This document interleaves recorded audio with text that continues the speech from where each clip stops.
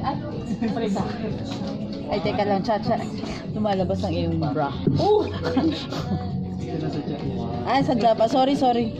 KJ ako. Kasi masyado po maganda Sorry, Rhea. KJ ako. Dinabas ko po yung bra ko.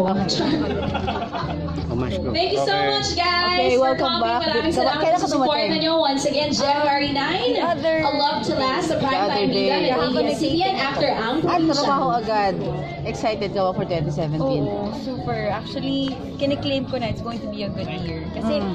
umpisa pa lang ng taon eh, meron na kaming papalabas na teleserye, diba? And I Ah. know it's going to be an amazing year. Mm, okay. Pero, ah, kamusta yung first taping days nyo? Kamusta yung experience?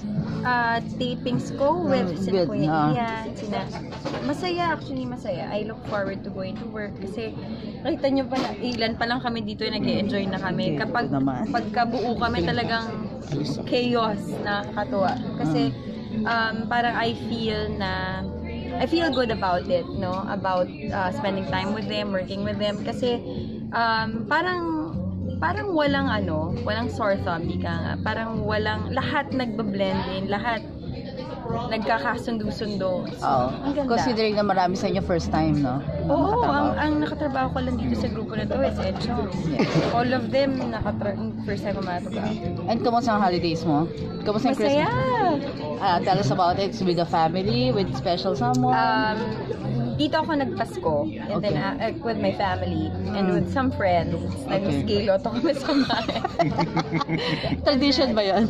Hindi, first time First ko time. ginawa actually. Okay. And then, um, after Christmas, umalis ako, pumunta ako ng California with friends. And why did you decide to go to California for New Year's? Um, actually, last minute yun eh. Um, kasi I was supposed to go to Japan with my family. Kaya Mm. lang yung kapatid ko, graduate siya, tapos inabsorb na siya ng restaurant Mm. kung saan siya nag-OJT. So, Okay. he signed a contract and so kailangan niya magtrabaho uh, during the holidays. So, hindi kami natuloy kasi syempre yung mom ko hindi naman naalis habang nandito yung brother ko for Okay. New Year. And so, sabi ng nanay ko, dahil alam niya I'm going to be busy this year, sabi niya, after Pasko, pwede ka nang umalis ha. Ganyan. Ah. So, ayun, ah, naisip ko, punta na kami ng California kasi may mga friends din kami doon. So, yeah. Who are the friends you brought sa California? I Who are you? brought? you brought with you to California. Um, yung mga long-time friends ko na sila, Mhm. Nina. Are you talking about Gerald? Gerald, yes, yes. kasama ko si Gerald. o nga, may photos kasi lumabas. Although sa IG mo and sa IG niyo lumabas, pero may lumabas sa photos. Mm. You invited him? Hindi. Um, it was parang dinner yata yun. Tapos, uh, we were talking about, ano, um, kung ano yung gagawin for the holidays. And so, parang that idea just came up. Ah, okay. At least, at talaga he, ano, talaga naghanap ng oras for that. Mm. Yeah. So, this must be really special. Oo. Oo. Kamusta naman, is this the first time nag-travel kayo ni Jenna together alone? Hindi, nung Halloween, nag, ano na kami, nag-Halloween kami. Pero marami kami nun talaga. Parang 13 yata, 14. Ah, Nag-Halloween kami sa Singapore. Mm.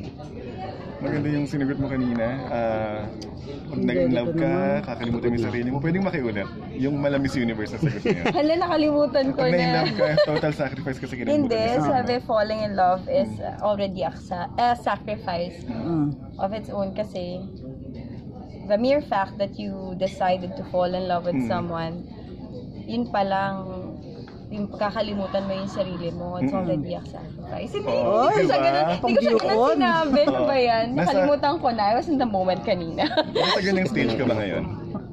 ha? Nasa ganung stage ka ngayon? Nakakalimutan ko yung sarili Yes, ko. oo. Wala pa yung sa kakalimutan ko yung sarili ko. So, hindi right now, I'm just enjoying. I'm just Mm. happy na, ayun, na may, ta may mga tao at taong na gustong nagpapasaya sa akin and then yun pa lang blessing. Ayoko pa siyang iproseso. Okay lang. Sabi mo kanina, realizing about You're dating. now. We're dating, so ang hirap mag, na unahan yung mga bagay-bagay na ayoko pong siguro mag-process. Right now, kasi especially this year, ang dami ko talagang gusto ma-achieve.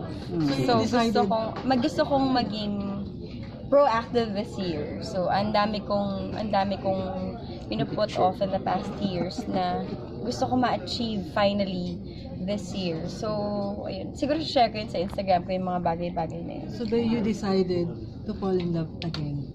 Ha? Kasi kanina sa sagot mo kay Kuya Jeff, Ah. ang pag ang love ay sacrifice. Oo. Diba? So you decided to sacrifice and fall in love again. Parang. I, hindi ko pa decide. I decided to uh, be proactive this year. Yung sinasabi ko. Ayun, um, this year, gusto ko, marami akong gustong gawin. Kaya, parang mas yun muna yung focus. But, um, syempre, yung mga tao nagpapasaya sa'yo, hindi mo naman, parang gusto mong i-savor yung mga, yung bawat moment na yun. Ano. Last night in Tonight in Boybot, Abuda, I'm sure, nakarating sa'yo na may photos of Gerald and Kim na lumabas na in a party daw na medyo close. Ah, talaga? Ay, hindi ko napanood. Nagtataping ako Gusto kasi. mong makita yung photos? Hindi naman. okay, yun. Kasi anyway, there, there's a party and they were parang Ah, close. ayun yata yung- Na, hawak yan. O yun. What's your reaction to that?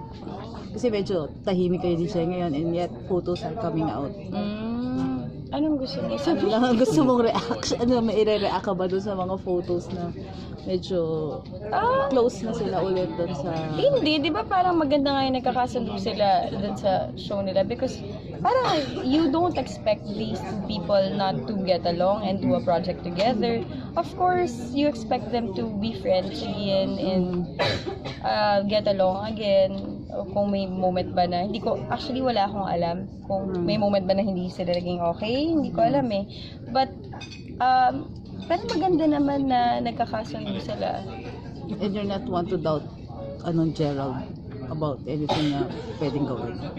No naman.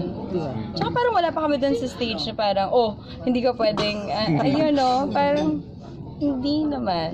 So you're taking things slowly para mas stable ba? Or para Oo. to last? Hmm. Tsaka hindi naman ako ganong klaseng tao na nagsispekulate agad ng mga bagay-bagay na, you know, para sa akin kasi kung ano yung ipinapakita ng tao, yun yung importante. Mm. Parang, and I know he's a very trustworthy person. Hmm. So, So you trust niya na, na hindi ka nasasabi. Hindi, tsaka wala pa kami sa stage na parang, ano, bawal mong gawin to, bawal. Tsaka hindi ako ganong klaseng tao. Hindi ako, hindi ako nag-jump into conclusion. Is he a boyfriend material? Si... Oo naman, oo naman. Bakit mo isa? Kasi he's a very responsible man. And alam mo na loving siya, alam mo na um, marami, marami siyang ginagawa sa buhay niya to become a better man. So, yun pa lang. What are you realizing at this point about yourself?